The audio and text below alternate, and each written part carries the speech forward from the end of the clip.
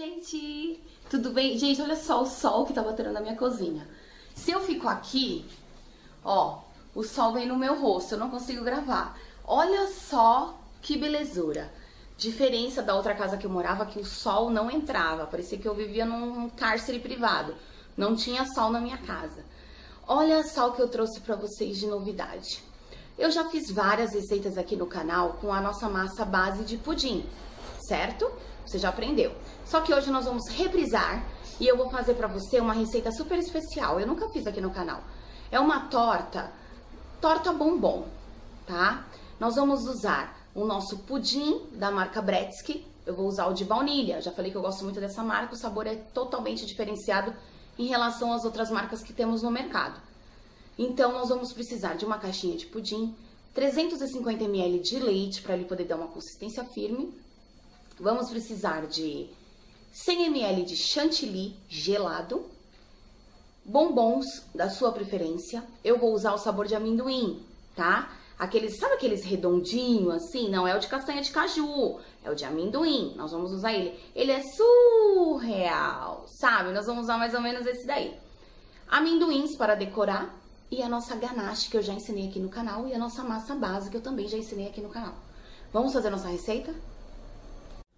Então, vamos para a receita. Olha só, 350 ml de leite, a nossa ganache que eu já ensinei na outra receita de torta de ninho com chocolate, a nossa massa base que eu também já ensinei, o nosso chantilly gelado 100 ml, os bombons no qual eu disse, amendoins para decorar. E o nosso pudim da Bretsky. Com esse pudim, a gente capricha mais e fica a nossa receita maravilhosa. Vamos lá, nós vamos levar no fogo o leite junto com o nosso pudim. Nós vamos misturar, levar no fogo, misturar até ele engrossar. Olha a textura do nosso pudim. Quando você coloca menos leite, ao invés da receita da caixinha, a gente consegue ter a textura cremosa pra gente poder fazer nosso, as nossas receitas, tá bom? O que, que a gente vai fazer? Nós vamos agora bater o nosso chantilly, vamos deixar esse daqui esfriar por, por completo, tá? Vai ficar bem geladinho. Nós vamos bater na batedeira o nosso chantilly em velocidade alta.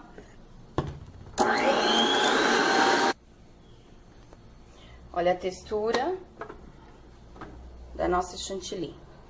Agora, a gente vai acrescentar este creme aqui, frio, gelado, nosso creme já tá gelado. Nós vamos acrescentar ele aqui, na nossa mistura de chantilly. Agora, a gente vai bater somente pra misturar.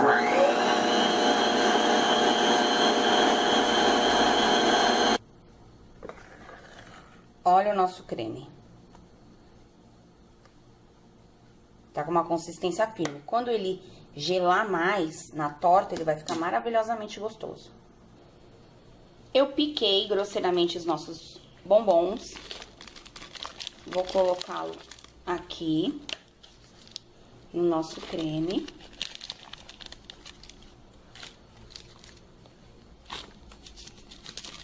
Vou mexer.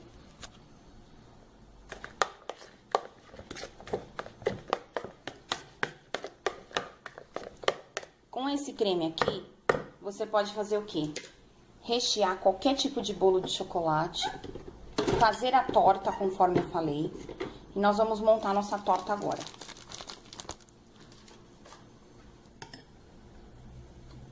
Uma colher de sopa em cada embalagem. Essa embalagem, a referência dela é a G645, 110 ml. O preço de venda a 5 reais. Ajuda com a traseira da colher. Vem com o nosso creme. Dá aquela caprichadinha.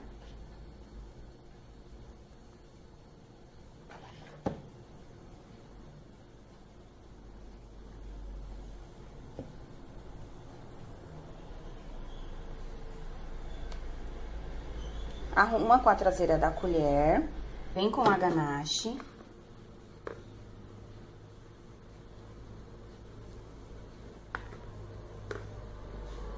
Antes de você sair para vender, você coloca ela no freezer uns 20 minutos para ela ficar bem gostosa, tá?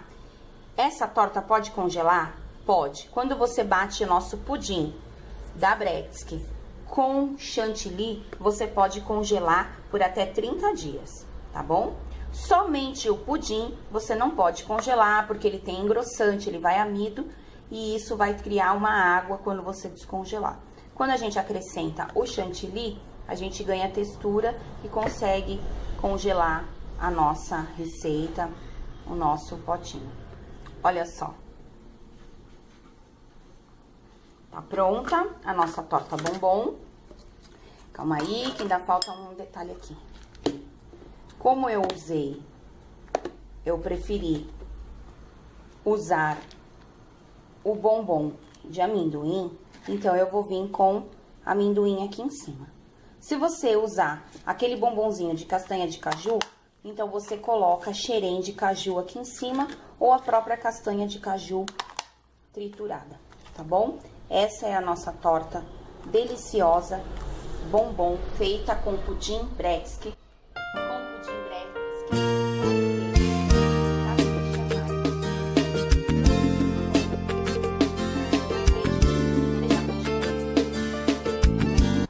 Gostou? Essa é mais uma receita da Cris, criação minha. Eu espero que você tenha gostado. Deixa o seu like, deixa sua curtida. Vai lá no Facebook, na página da Bretsky, deixa uma curtidinha lá, ó. Tá bom? Vocês vão ver também receitas maravilhosas que eles postam. Um super beijo pra vocês e fiquem com Deus. Tchau!